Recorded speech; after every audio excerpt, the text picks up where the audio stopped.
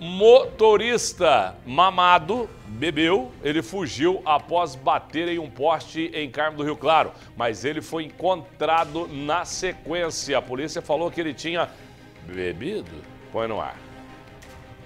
O para-choque com a placa do veículo ficou caído ao chão. Veja o impacto da batida no poste. A frente do carro, no lado do motorista, também ficou danificada.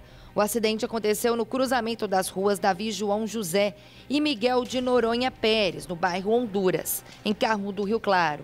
A polícia militar foi acionada. Segundo a PM, a equipe conseguiu identificar o suspeito pela placa caída. Na sequência, ele foi encontrado. O homem foi preso e levado para a delegacia de Polícia Civil. O caso é investigado. O caso é investigado, ficou pior, né? Porque se ele bate para, ia dar um probleminha, mas como ele bateu e saiu, a polícia foi atrás e achou, deu um problemão.